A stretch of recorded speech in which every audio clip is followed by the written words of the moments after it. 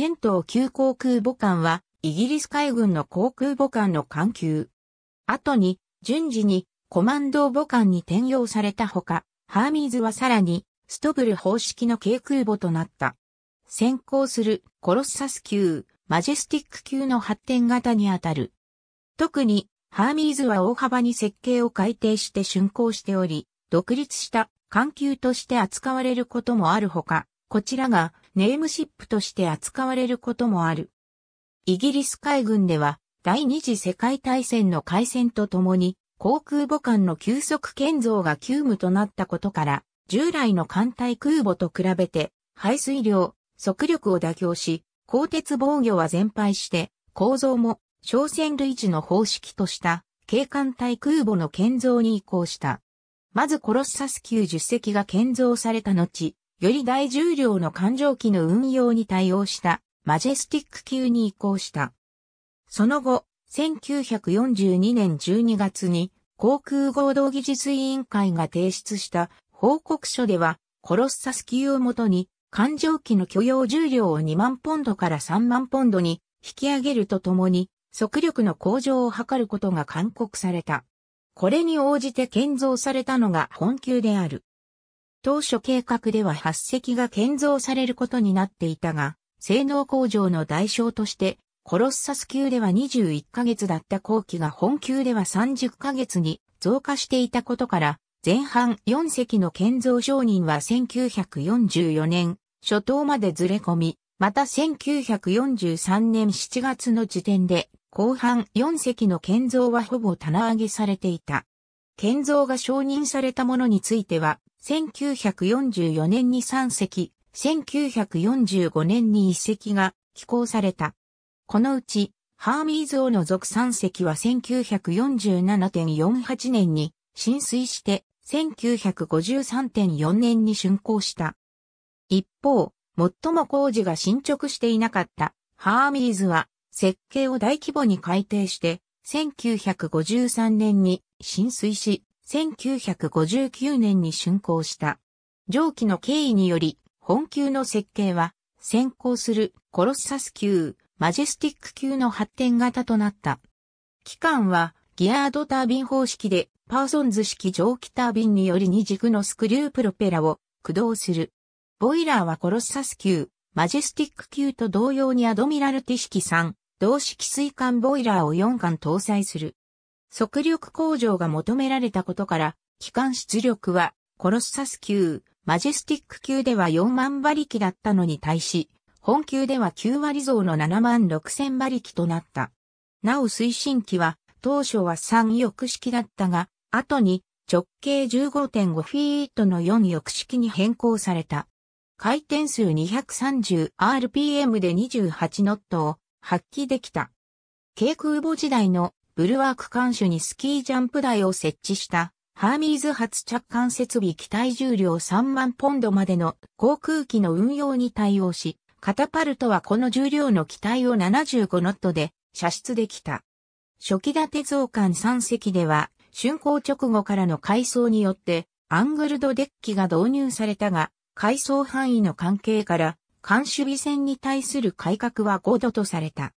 また、スエズ動乱後の1956年には、蒸気カタパルトが導入されたほか、アレスティングギアも更新された。一方、ハーミーズでは、改革6度のアングルドデッキを導入し、カタパルトも当初から蒸気式のものを設置した状態で竣工した。ただし、このように改良された航空偽装でもシービック線の後継となる艦上戦闘機として採用されたファントムの運用には対応できなかった。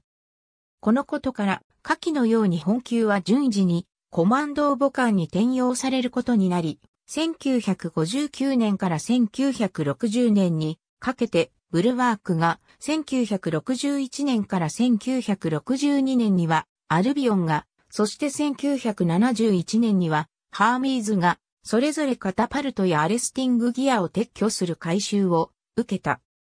その後、垂直離着陸機であるシーハリアー FRS-1 の実用化とともに対戦空母として活動していたハーミーズもこれを搭載することになり、1980年から1981年にかけてストブル方式に対応して勾配角12度のスキージャンプ台を設置するなどの改修を受けた。これは航空母艦に高級的なスキージャンプ台が設置された初の例であった。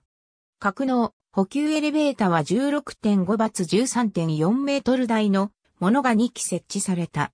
また、ハーミーズでは蒸気カタパルトの関連設備のためのスペースを確保するため、全部エレベーターはデッキサイド式に変更された。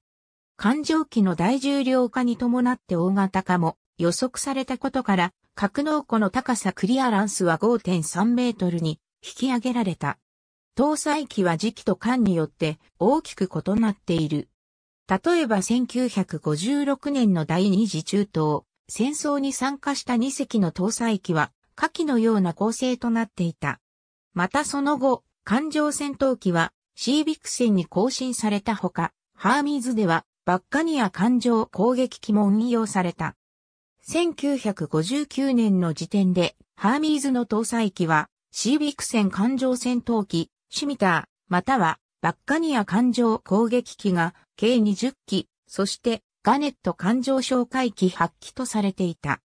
その後、口述するように本級は順次固定翼機の運用を終了して輸送ヘリコプターのみを搭載するコマンド母艦として改装されていった。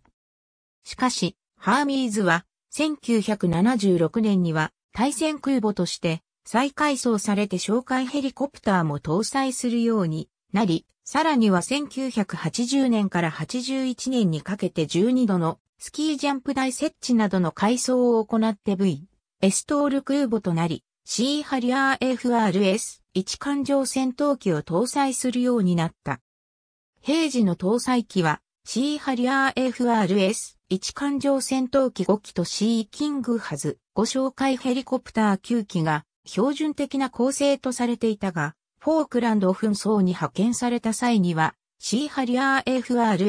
FRS112 機とシーキングハズ50機が展開し、後には増援されたシーハリアー4機、さらには空軍のハリアーグレーン3攻撃機6機も加わった。コマンド母艦時代のブルワーク艦上のホワールウィンド輸送ヘリコプターと海兵隊員イギリス海兵隊は早くからヘリコプターの戦術的価値に注目しており、第二次中東戦争の際には、兵員輸送艦に転用されていたコロッサス級2隻を用いたヘリボーン戦術が展開された。そしてその実績を踏まえて、1959年から1962年にかけて本級のうちアルビオン、ブルワークがコマンド母艦として改装された。これは水陸両用作戦のためのヘリ空母であり、アメリカ海軍のヘリコプター揚陸艦に相当するものであった。両艦の改修は必要最低限のもので、艦の外見はほとんど変化しなかったが、海兵隊一個コマンドと装備、車両50両の搭載に対応しており、その輸送のため、フォワールウィンド輸送ヘリコプター21機が搭載された。また1971年にはハーミーズも同様の改修を受けた。ただし、戦闘の改修は予算上の理由から中止された。当初の設計では、艦砲として45口径11.4センチメートル砲を連装の広角砲画と組み合わせて4機、また対空兵器としては56口径 40mm 機銃34門を搭載する予定であった。しかし実際には2機目のカタパルトを設置する代償として艦砲は全廃されることになり、40mm 機銃32門を搭載して竣工した。またその後もアングルドデッキ化の際に左舷側の 40mm 連装機銃3機がまたカタパルトを蒸気式にしてアレスティングギアを強化した際には環境構造物工法の6連装機銃が撤去された。一方、ハーミーズでは984型レーダーと CDS、戦術情報処理装置が搭載されたが、特にレーダーのためのスペースを捻出するため、機銃は56口径 40mm 連装機銃マーク5号機に削減された。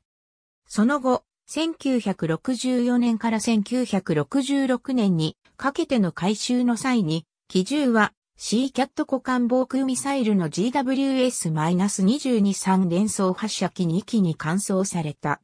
また1971年の改修の際に、レーダーも984型から965型に換装された。ありがとうございます。